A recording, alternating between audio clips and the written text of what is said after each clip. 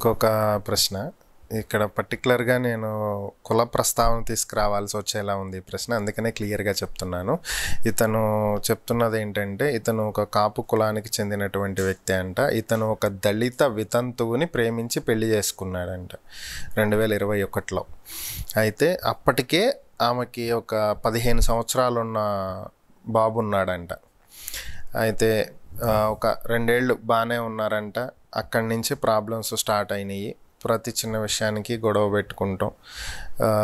వీళ్ళ అమ్మగారితో ఆమెకు పడకపోవటం. ఇలా ఏ చిన్న చిన్న సమస్యలు జరుగుతూ ఉన్నాయి. సో అందుకని వేరు కాపురం పెట్టారు. అయినా కూడా ఇష్యూస్ తగ్గకపోవటంతో అమ్మాయి ఇంట్లో నుంచి వెళ్ళిపోయింది. పుట్టింటికి వెళ్ళిపోయింది. వెళ్ళిపోయిన తర్వాత ఇతని మీద SC atrocity case four ninety eight A five naught six three twenty four కేసులు పెట్టిందంట.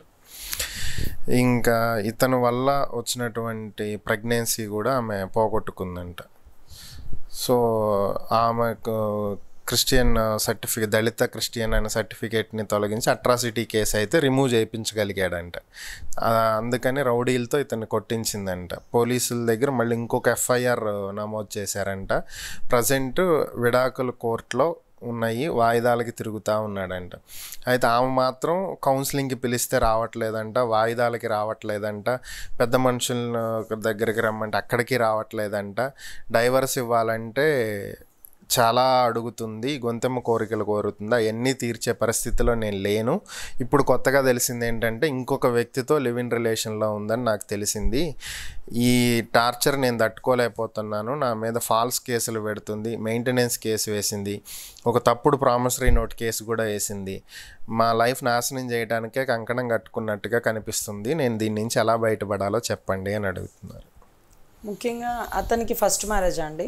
అది రాయలేదు మేడం. ఆ ఏజ్ థర్టీ ఫైవ్ అని మెన్షన్ చేశారు. మేబీ ఇతనికి కూడా సెకండ్ మ్యారేజ్ అనేమో తెలియదు ఎందుకంటే మీరు గమనిస్తే ఇక్కడ కులాల ప్రస్తావన అనేది కాదు కానీ ఆ, వ్యక్తి ఒక వి- వితంతువుని బిడ్డ ఉన్న తల్లిని పెళ్ళి చేసుకోవాల్సినంత అవసరం ఏంటంటే ఇతను డైవర్స్ అవ్వడం లేకపోతే ఇతను గతం నుంచి ఒక అమ్మాయితో తిరిగి తిరిగి తర్వాత అమ్మాయిని వదిలేసి ఈ అమ్మాయిని పెళ్ళి చేసుకోవడం తప్ప అంత ఆదర్శ మగవాళ్ళని మనం ఎక్కడ చూస్తుంటామండి అవంతా చే చరిత్రలో పుస్తకాల్లో చదువుకోవడానికే తప్ప.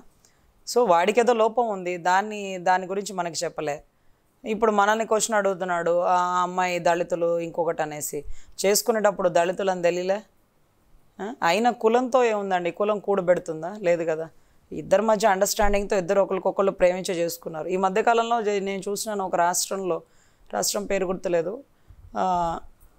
కులాంతర వివాహాలు చేసుకుంటే ఇంత డబ్బు ఇస్తుందట దగ్గరుండి పెళ్ళి చేస్తుందట. అది ఆ రాష్ట్రం ఏంటో. యూపీ. ఉత్తరప్రదేశ్.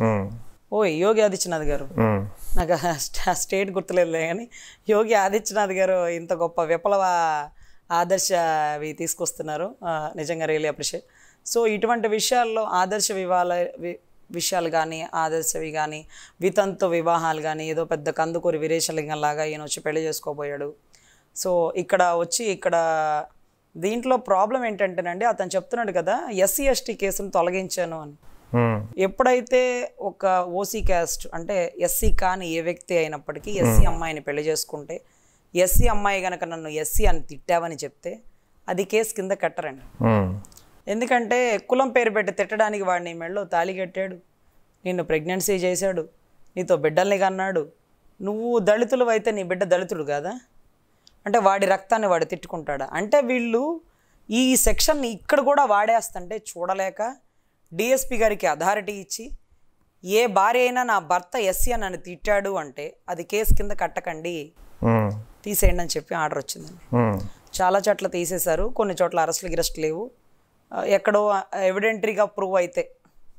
తిట్టినట్టుగా పెద్ద పెద్ద కెమెరాల్లో బూతులేసి బయటకేసి ఇసిరేసి జుట్టు పట్టుకొని అక్కడెక్కడన్నా నిరూపితం అయితే తప్ప మ్యాక్సిమం వందలో ninety nine point nine percent SC ST కేసులు తొలగించేశారు ఒక భార్య భర్త మీద పెట్టిన కేసు చెల్లదు. తెలియని వాడిని ఆఫీస్లో పనిచేసేవాడిని పొరిగింటోని పక్కింటోని తిట్టచ్చు కానీ మన ఇంట్లో ఉండే వ్యక్తి మనతో కలిసి కాపురం చేసే వ్యక్తి మనతో మనతో కలిసి బిడ్డల్ని కన్న వ్యక్తిని దళితులని ఎవరు తిట్టరు. వీళ్ళు ఇంటెన్షన్లో ఇరికించడం తప్ప. సో అది ప్రూవ్ అవుతుందండి. ఇప్పుడు ఇతనేం అడుగుతున్నాడు మనల్ని క్వశ్చన్? ఈ కేసుల నుంచి ఎలా బయటపడాలి అని. ఆ అమ్మాయి ఇంకొకరితో కూడా రిలేషన్లో ఉంది ఉందని చెప్పాడు. అది కనుక ఏదైనా ఎవిడెంటరీగా ప్రూవ్ అయితే అతన్ని డైవర్స్కి వేసుకోమనండి. వేసుకుంటే ఫోర్ నైంటీ సెవెన్ అడల్టరీ కింద అతనికి డైవర్స్ వచ్చే అవకాశం ఉంటుంది. ముందు డైవర్స్ వేసేసుకుంటే ఆవిడ ఇంటికి రాకుండా ఉంటుంది ఇతను కొంచెం సెక్యూరిటీ ఉంటుంది. అది డైవర్స్ కేసు కొంచెం తొందర తొందరగా జరిగేలాగా మంచి అడ్వకేట్ని పెట్టుకోమనండి. అవుతుంది. గ్రౌండ్స్ ఫుల్ఫిల్ అయ్యేలాగా గతంలో ఆవిడ విడో ఆ, నేను ఆదర్శంగా చేసుకున్నానో లేకపోతే ఇంకోటనో తర్వాత ఇతనితో కాంటాక్ట్లో ఉందనో ఫోన్ రికార్డులో కానీ తర్వాత కొన్ని సీసీ కెమెరాలో ఫొటోస్లో కానీ ఇంకో చోట ఇంకో చోట ఏదైనా ఎవిడెంటరీ పెట్టుకోమనండి బయటకు వచ్చేస్తాడు. కానీ ఇక్కడ అతను ఎంతవరకు కరెక్ట్ ఆవిడ ఎంతవరకు కరెక్ట్ అనేది మనకు తెలియదు మనకు తెలియకుండా మనం సజెషన్స్ ఇవ్వడం అనేది కరెక్ట్ కాదు. బట్ ఇక్కడ ఏం జరుగుతుందంటే మనల్ని నిజా మనం క్వశ్చన్ అడిగేవాడు నిజాయితీ పరుడు కాదో మనకు తెలియదు తెలియదు వాళ్ళ గురించి కూడా పూర్తిగా రాశారా? లేదంటే వాళ్ళ విషయాలు ఏమైనా మరి మీరు చూస్తున్నారు థర్టీ ఫైవ్ ఇయర్స్లో నాకు ఒక వివాహం అయిందండి. ఆవిడ అది డైవర్స్ అయిపోయింది. లేకపోతే నా భార్య చనిపోయింది. ఇంకో పెళ్ళి చేసుకుని అతను చెప్పలే. అతను ఫ్యాక్ట్స్ దాచాడు. దాన్ దట్ మీన్స్ ఏంటంటే విషయాన్ని పూర్తిగా చెప్పే ఉద్దేశం లేనివాడని భావిస్తాం. ఎస్ సో ఈ విషయం చెప్పడానికి ఇష్టం లేదు. ఇంకొక విషయం ఏంటి అంటే ఆవిడ ఎవరైతే దళితురాలు ఉన్నారో ఆవిడ మీద ఆరోపణలు చేయడం కూడా కరెక్ట్ కాదు. ఆధారాలు ఉన్న ఆరోపణలు మాత్రమే నిరూపితం అవుతాయి రిలేషన్లో ఉంటుందంటే ఆల్రెడీ ఒక భర్త చనిపోయి ఇద్దరు బిడ్డల తల్లి నీ వల్ల ఒక బిడ్డ.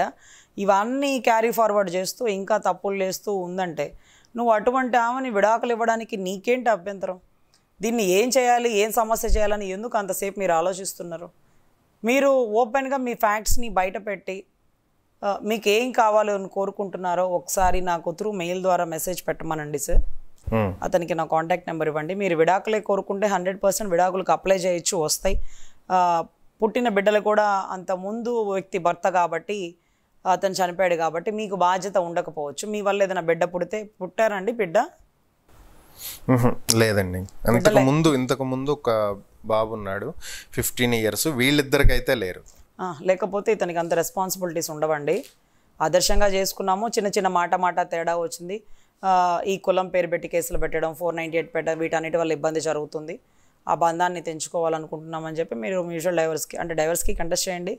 ఆ అమ్మాయి యాక్సెప్ట్ చేసినా చేయకపోయినా హండ్రెడ్ పర్సెంట్ మీకు డైవర్స్ వచ్చేస్తుంది. ఓకే